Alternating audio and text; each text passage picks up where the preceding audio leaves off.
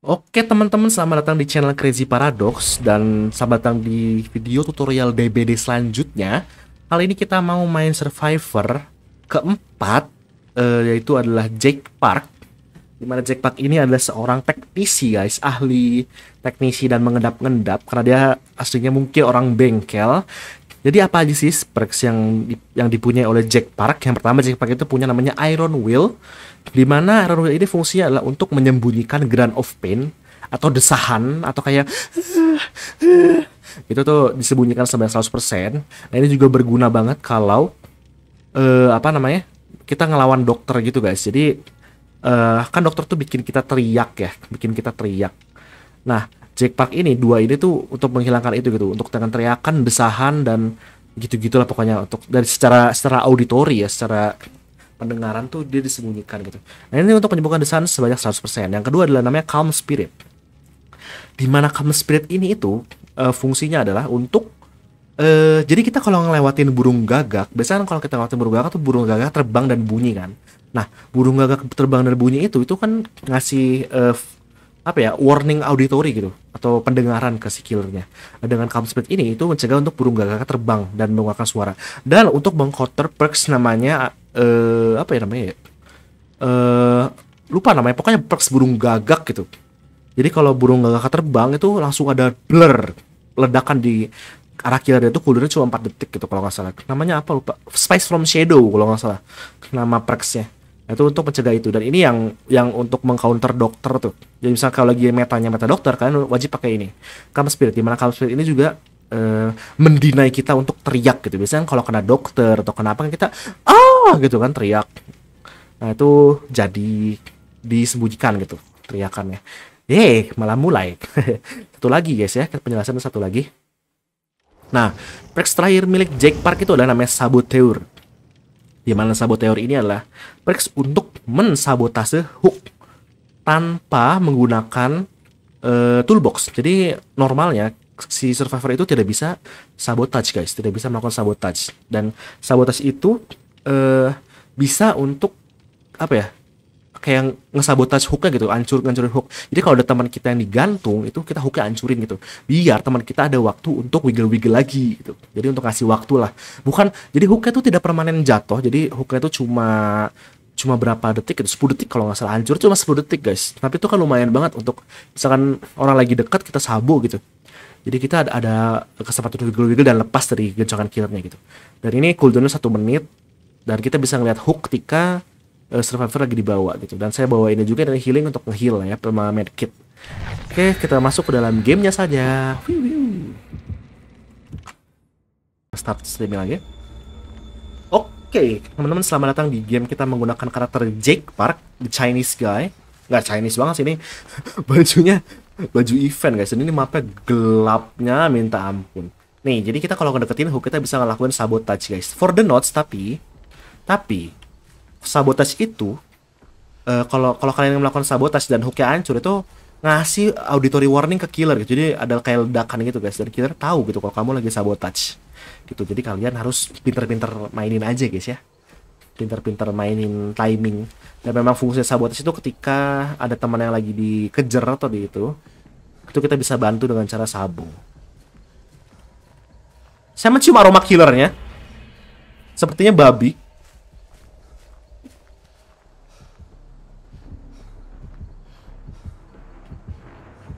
Siapa ya? Siapa tuh? Gak tahu juga sih. Saya saya mencium bau babi tapi tapi kayaknya dia pakai roll on gitu. Jadi baunya beda nih. Apa makirnya kayak babi? Bukan babi. Ya udah kita kita ini aja, kita eh uh, ini aja apa namanya? Repair aja dulu. Nah, tuh tuh tuh. Kalau kalau ada teman yang terjatuh, kita bisa ngelihat hook yang paling dekat sama teman kita kita bisa langsung ngelakuin action sabotage untuk ngebantuin temen tapi karena kita jauh jadi susah. Dan saya nanti bakalan nyobain di hit supaya kalian tahu bedanya apa kalau pakai calm spirit dan iron will. Siapa sih kira hah? Face? Aku mau nyelamatin deh. Tuh lihat tuh guys. Ini burung gagak. Kalau kita giniin, nggak ada notif ya. Burung gagak tidak terbang. Oh fuck. Oh nggak aman. Hmm. Udah coba action sabotage ini harus tricky sih. Emang harus tricky. Kita harus deket-deket sama ini. Kita nge-heal dulu teman kita.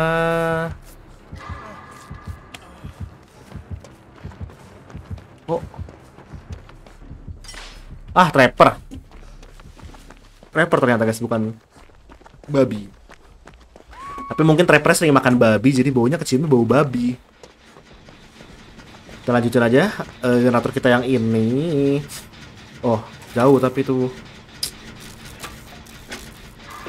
Ayah. Papa papa kita nungguin. Oh, di situ lagi dah. Favorit banget nih pohon babi digantungnya. Berarti emang habis makan babi nih, trappernya nih. Dia nggak gantung di pohon babi. Loh, langsung diselamatin. GG, GG, gila gila. Sadis banget si itu ya si Halo, apa kabar? You don't need to carry me right away. Aish jatuh. Jauh lagi. Nih, kita bisa sabo guys. Kita mau nunjukin dulu aja. Set. Nah, itu cooldownnya berjalan satu menit guys. Kalau pakai sabo teur. Tapi ya dapat sabo gratis gitu, nggak perlu pakai toolbox. Nah kan di situ doang sih. Jadi game ini cukup fair juga sebenarnya. Bedanya adalah enaknya kita bisa ngelihat hooknya di mana posisinya.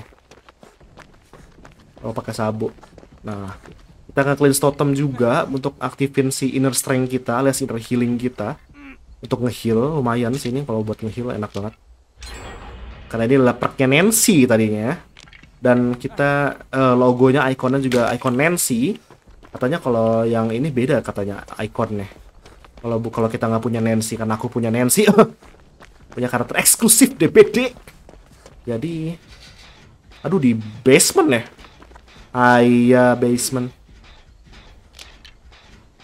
ada nyelamatin gak ya? Tapi dia udah nggak bisa diselamatin juga sih. Kalau aku ke sana habis waktunya. Mohon maaf ya. Ayah, dia nyamati. Karena Oke lah kita bantuin deh, kita bantuin deh. Tapi mati juga. PR, PR. Saya, woi, woi, woi, woi. Woi, woi. Aku healing dulu.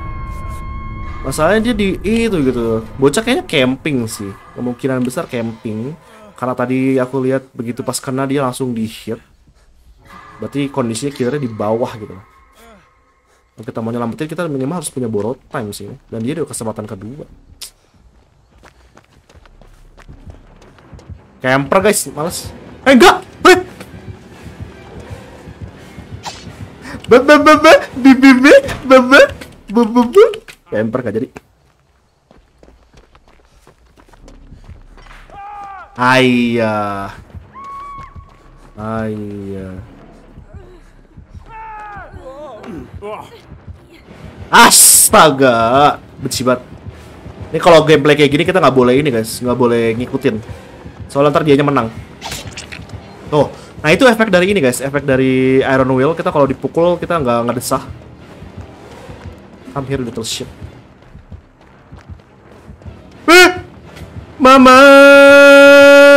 Unch, unch, unch I don't want to die Kenapa lu malah camping di situ? Kambing, kambing Aduh, pakai Iron itu lagi Apa?